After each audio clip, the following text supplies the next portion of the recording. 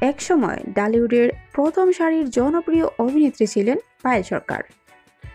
তবে বর্তমানে তার কাজের পরিমাপ অনেকটাই কমে গেছে।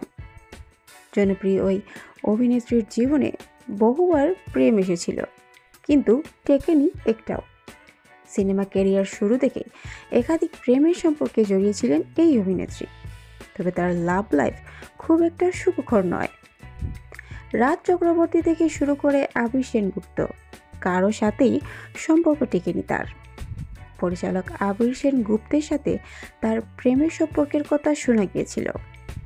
আবিরের প্রথম সিনেমা জমের রাজা দিলবর সিনেমায় নায়িকা হিসেবে ছিলেন পায়েল সরকার। ছবির চলাকালীন তাদের প্রেমের সম্পর্ক হয়নি, বরং ছবির প্রচারে গিয়ে দুজন দুজনকে মন দিয়ে বসেছিলেন।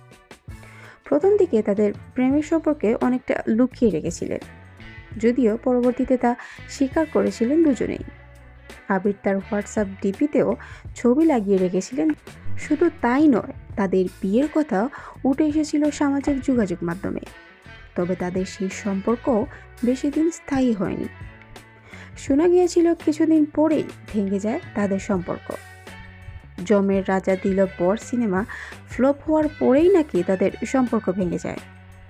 তাছাড়াও তাদের মতেরও মিল ছিল না। আবিরের আগেও অনেক প্রেমে জড়িয়েছিলেন পায়েল। পরিচালক রাজ চক্রবর্তীর সাথে ক্যারিয়ারের শুরু থেকে প্রেমের গুঞ্জন শোনা যায় তার। তাদের প্রেম ছিল অপের সিক্রেট। টালিউড ইন্ডাস্ট্রির সকলেই জানতো তাদের প্রেমের কথা।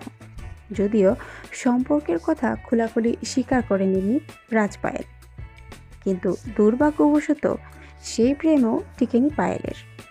এদিকে রাজ চক্রবর্তী ডালিউডের জনপ্রিয় অভিনেত্রী শুভশ্রীকে বিয়ে করে সুখে শান্তিতে সংসার পেতে আছেন। তাদের সংসারে কুল আলো করে এসেছে এক পুত্র সন্তান। সিনেমা জগতে আসার আগেও বহুবার প্রেমে পড়েছিলেন পায়েল সরকার। পায়েলের যখন বয়স পনেরো থেকে ষোলো, তখনও প্রেমের সম্পর্কে জড়িয়েছিলেন তিনি। তবে তার সেই প্রেমও বেশি দিন স্থায়ী হয়নি। বয়স চল্লিশ ছুঁই ছুঁই তবুও এখনও সিঙ্গেল আছেন পায়েল। পায়েলের লাভ লাইফ অনেকটাই আনলাকি তিনি যার প্রেমেই পড়েন, তার সাথেই তার সম্পর্ক বেশি দিন স্থায়ী করে টিকে রাখতে পারেন না তিনি। আজকের প্রতিবেদন এই পর্যন্ত। সম্পূর্ণ প্রতিবেদন উপভোগ করার জন্য ধন্যবাদ।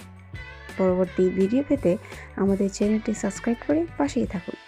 আল্লাহ হাফিজ।